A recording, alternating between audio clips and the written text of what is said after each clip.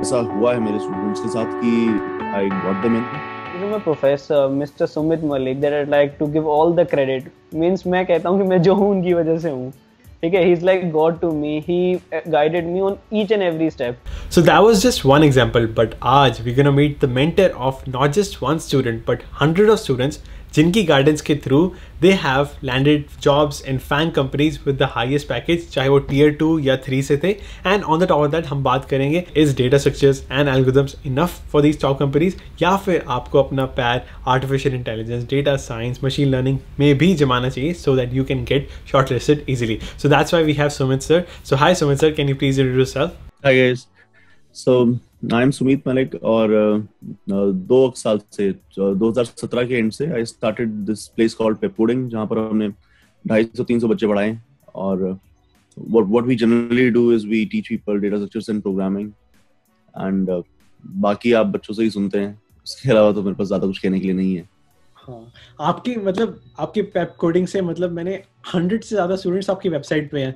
Ten से ज़्यादा students मैंने खुद सुने हैं जो आपकी इतनी ज़्यादा तारीफें करते हैं। आपने इतने अच्छे से उन्हें पढ़ाया कि they have got into Facebook Microsoft Google any company name into like किसी भी कंपनी का नाम ले लो वो वहाँ पे आपकी तारीफें ज़रूर करते हैं। सो so, आप ये बताना कि जब आप लाइक इन स्टूडेंट्स को प्रिपेयर करते हो तो बेसिकली मतलब ये जो सॉफ्टवेयर इंजीनियरिंग जॉब्स का जो साइकिल होता है तो is it just about data structures and algorithms क्या फिर मतलब और क्वेश्चन भी पूछे जाते हैं, जैसे कि ऑपरेटिंग सिस्टम्स हो गया सिस्टम डिज़ाइन हो गया, क्योंकि बाकी जितने भी बच्चे इस रेस में लगे हुए हैं सॉफ्टवेयर इंजीनियरिंग की they mainly caring about data structure algorithms तो इसके अलावा क्या इंपॉर्टेंट होता है? यार देखो, जो मुझे भी लगता है ना प्रेसिडेंट्स जो है वो डीएसएल की स्लाइटली इंटरव्यू स्क्यूड है डीएसएल की तरफ़। मुझे ऐसा पर्सनली फील होता है कि 80 परसेंट डीएसएल को पूछा जा रहा है। उसके बाद, दूसरे नंबर पर ऊप्स है, फिर ओएस है, फिर डेटाबेस है, फिर सिस्टम डिज़ाइन है। और फिर कुछ और बच्चे हैं जो डेवलपमेंट के रास्ते क्रैक करते हैं, जो जी सॉक वगैरह करते हैं। तो उनको उनको भी बेसिक डीएसएल की ज़रूरत पड़ती है।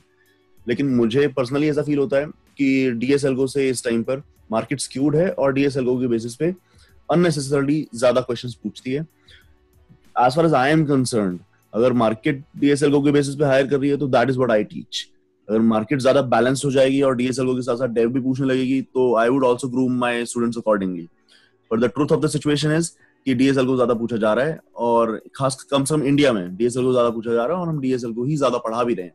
तो मैं भी बच्चों को ये बोलता हूँ कि अपना ज़्यादा टाइम डीएसएल को लगाओ, बचा हुआ टाइम oops os dvms के अक्रॉस स्प्रेड कर दो. In fact dev does not even matter आपके पास कुछ प्रोजेक्ट्स हों तो dev does not even matter unfortunately जो कि लेकिन इससे एक प्रॉब्लम भी आ रही है। uh, मैं ये वाली बात शेयर ही कर सकता हूँ। मेरे बच्चे बहुत आराम से क्रैक कर पा रहे हैं लेकिन uh, कुछ बच्चे उनमें से ज्वाइन करने के बाद थोड़ा स्ट्रगल करते हैं। क्योंकि ज्वाइन करने के बाद जो काम आता है वो डेव के अराउंड आता है। हाँ. वो काम सीधा डीएसएल के अराउंड नहीं आता है। तो वो बच्चे डीएसएल पे बहुत तोड़ू थे ज्वाइन कर लेते हैं। Then they see a different world कि जिस स्किल के बेसिस पे क्लियर करके आए हैं वो तो इस्तेमाल भी नहीं हो रही है तो there are two sides to it but as far as my job is concern which I consider is to get them in तो that works a lot around DSL को so i also promote dsl go for now uh, if it changes in future then i would also change my opinion in future uh-huh.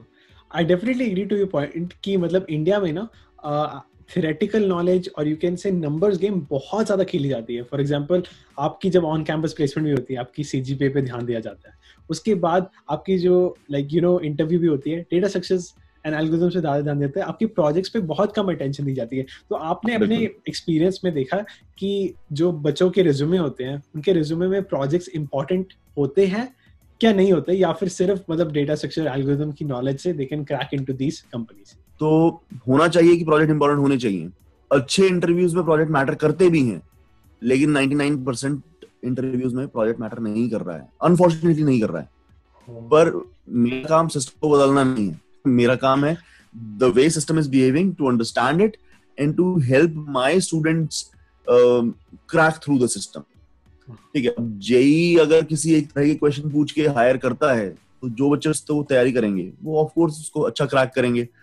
तो मुझे ऐसा लगता है कि Microsoft वगैरह तो Microsoft D Shaw or Arcesium not Amazon कुछ कंपनियाँ तो हैं जो इस तरह से प्रोजेक्ट्स को अच्छे से चेक करके बच्चों को हायर करती हैं, जो ऑलराउंडेड बच्चा उठा रही हैं। पर बहुत सारी कंपनियाँ ऐसे हैं कि उनको प्रोजेक्ट वाला सिस्टम फूल किया जा सकता है। I do not say that is a good thing to do क्योंकि जो बच्चा इस तरह से जा भी रहा है ना, उसका उसका, उसमें इंटरव्यू में पूरा कॉन्फिडेंस होता नहीं है। तो उसकी प्रोबेबिलिटीज गेम खराब हो जाती है। वो दस इंटरव्यू दे रहा है तो आठ में उसको प्रूव हो जाएगा कि प्रोजेक्ट उसने खुद नहीं बनाया। सिर्फ़ दो में वो बता पाएगा कि हाँ मेरा प्रोजेक्ट है। तो ऑफकोर्स प्रोजेक्ट स्टेज इंपॉर्टेंट आपने खुद बनाया है तो आप बिल्कुल सेफ़ हैं। आपने खुद नहीं बनाया है तो फिर थोड़ा सा है कि आप फंस सकते हैं। ज़्यादातर दस में से आठ इंटरव्यूज़ में फंस जाओगे, दो में निकल भी सकते हो। I do not condone it but that is how it is project के बिना इंडिया में काम चल रहा है अभी के लिए। वाओ मुझे इतना पता ही नहीं था exactly because being in US I can tell you कि मेरी डेटा सेक्शन और एल्गोरिथम्स की नॉलेज बहुत बेसिक है, या फिर like it is mediocre level क्योंकि मैंने सिर्फ़ फ़र्स्ट ईयर में प्रैक्टिस किया था और मेरे हैकाथॉन्स में like like you know like the awards that I have gotten I have gotten pretty much like ten K around मेरे कोडिंग कॉम्पिटिशन मैथ्स में अवार्ड्स है। उसके कारण मेरी इंटरव्यू होगी। यहाँ पे यूएस में इतनी इंटरव्यू इतनी मतलब हाई लेवल डीएसएल को नहीं पूछे जाते। So it was pretty much easy so that shows की ड्रास्टिक डिफरेंस है। इंडिया के प्लेसमेंट और प्लेसमेंट का भी। हाँ। काफ़ी है। जैसे मैं भी मैं कुछ स्टूडेंट्स को जानता हूँ जो डेव में बहुत सॉलिड है। ए ए वन बच्चे हैं।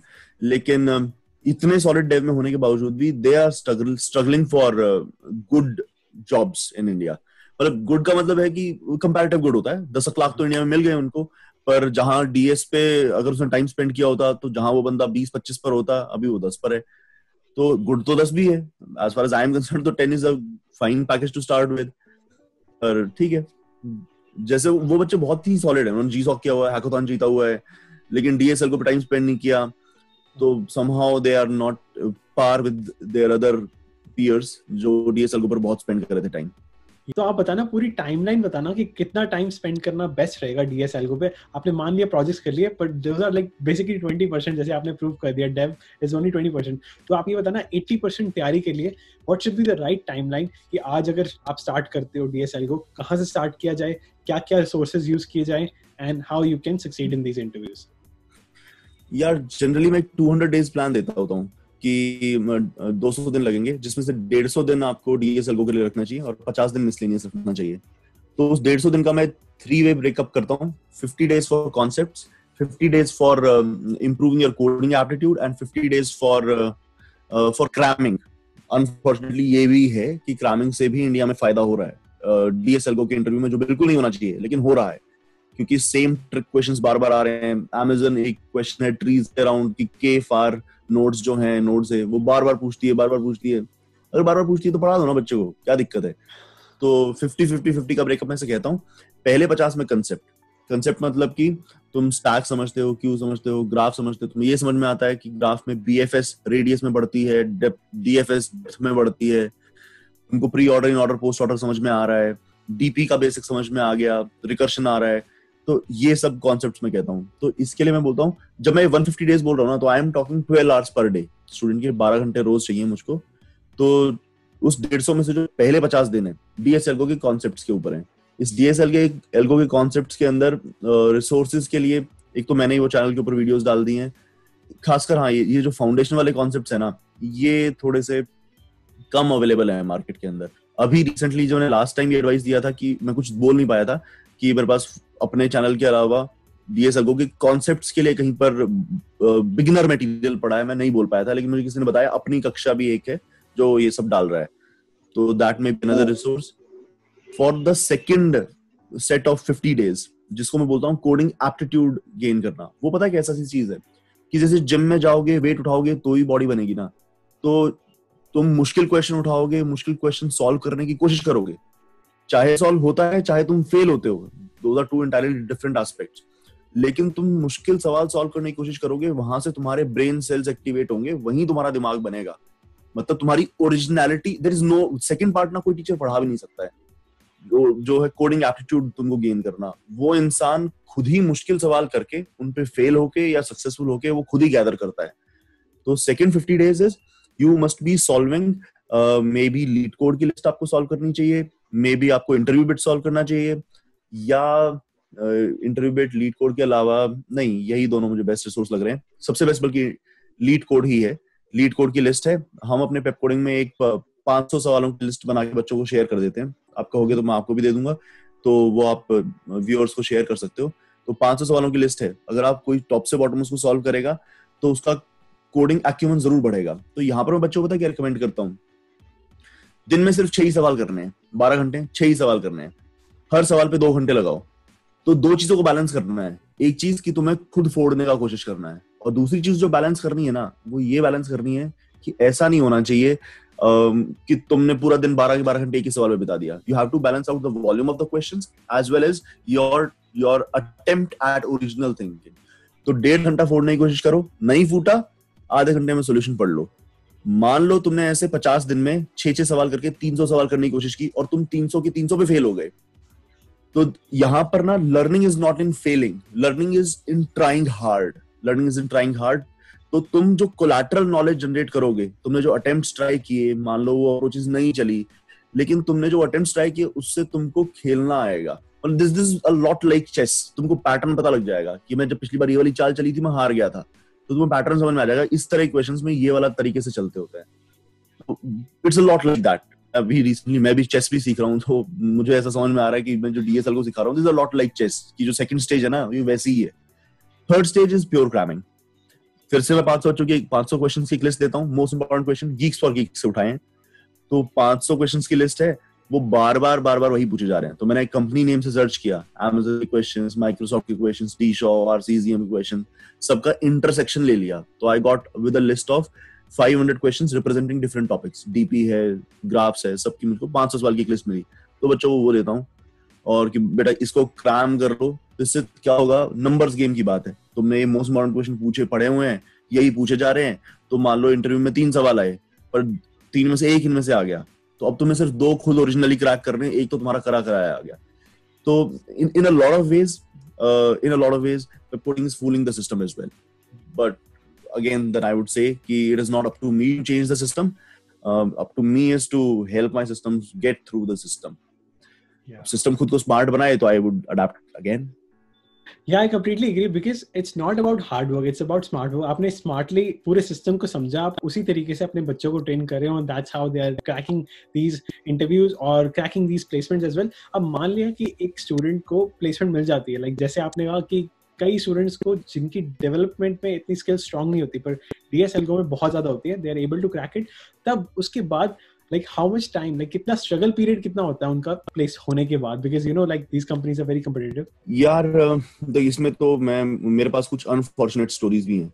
मतलब ऐसा हुआ है मेरे स्टूडेंट्स के साथ कि I got them in and तो फिर कुछ उनमें से बाहर आए हैं वापस। They did not want to stay there तो दे गॉट स्ट्रेस्ड आउट तो मैं, देखो, ये यही, जैसे मेरा जो तरीका है तो उसके केविएट्स ये हैं, उसके केविएट्स ये हैं। अगर वो बच्चा डीएसएलओ के साथ साथ डेव पर भी ग्रूम्ड होता तो not only would he have entered there he would have survived there as well तो जैसे मेरी एडवाइस वो रही है आज तक, कि भैया ये 200 दिन ये तैयारी करो, तुम अंदर पहुँच जाओगे, उस उस एडवाइस में ये भी ऐड होना चाहिए कि बेटा 50 दिन डेव ज़रूर करके जाना। डेव नहीं करके जाओगे तो वहाँ का जीवन बहुत मुश्किल लगेगा। और फिर सिर्फ़ पहुँचना नहीं है सर्वाइव भी तो करना है। तो आई वुड मतलब अभी going forward I would do it I would I am going to change my advice my advice is not going to state कि बस वहाँ तक पहुँच जाओ। उसमें ये पार्ट ऐड होगा कि वहाँ पहुँच के बेटा सर्वाइव करने के लिए तुमने डेवलप जिगरा पैदा नहीं किया तो दिक्कत होने वाली है। तो ये अनफॉर्चुनेटली मेरे स्टूडेंट्स को ये दिक्कत रही है। और मैं टाइम पीरियड अगर मैं बोलूँ तो अभी तो देखो, जैसे पेप कोडिंग यंग है कोडिंग यंग है तो फिर मैं अभी वो बच्चों के बारे में यही कह सकता हूँ कि अभी तो वो अपने स्ट्रेस पीरियड में ही है। स्ट्रेस पीरियड के बाहर नहीं आए एंड एक और इंटरेस्टिंग ये एलिमेंट उठता है कि अगर आप प्रोजेक्ट्स करते हो एआई के related data science machine learning के रिलेटेड आपके चांसेस बढ़ते हैं कि नहीं? मुझे ऐसा लगता है बच्चे ना सीधा शाइनियस्ट टॉय की तरफ़ भागते हैं।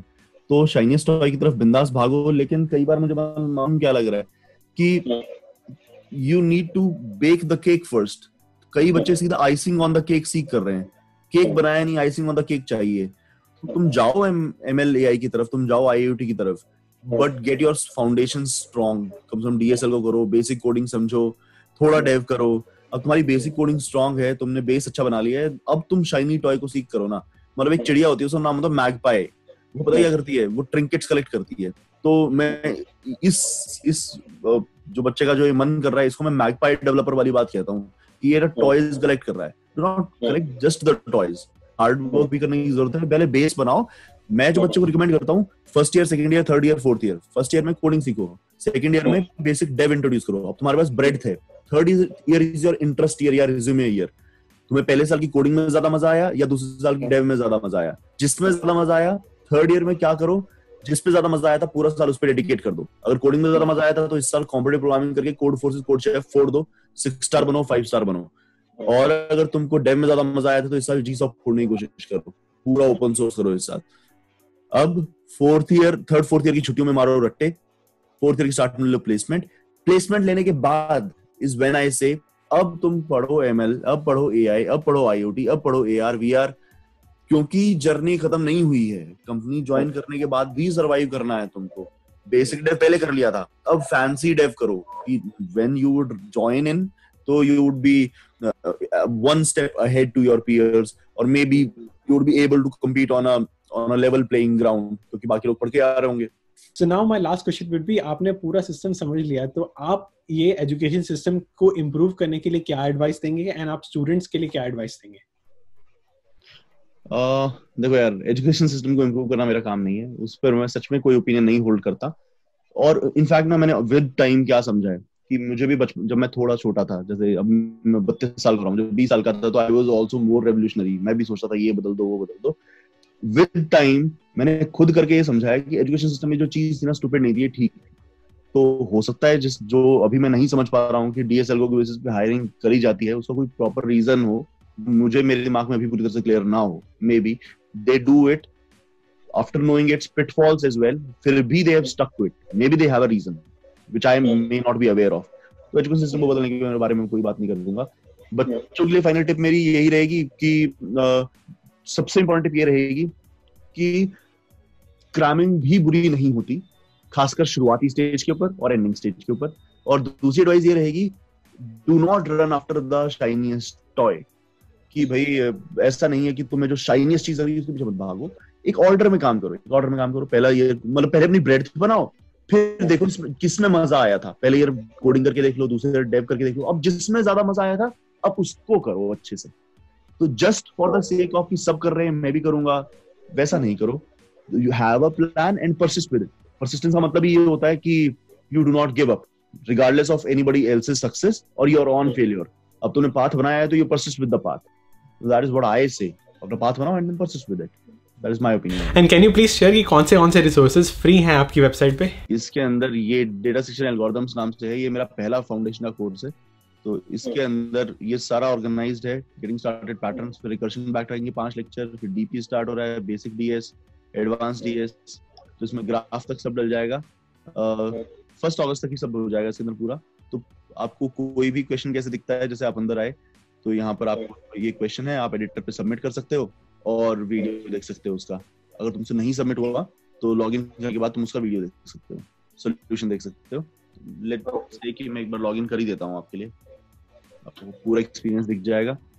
तो this is what you see आप यहाँ पर क्वेश्चन पढ़ा आपने अब एडिटर पे जाके सबमिट करने की कोशिश किया। आपसे हो गया बहुत बढ़िया नहीं हुआ तो आप सोल्यूशन पे जाके आपने सोल्यूशन का वीडियो देखा और सोल्यूशन का देखकर फिर वापस आकर सबमिट कर दिया। तो that is how you do it online जाओ फाउंडेशन में टोटल 350 क्वेश्चंस अवेलेबल हैं।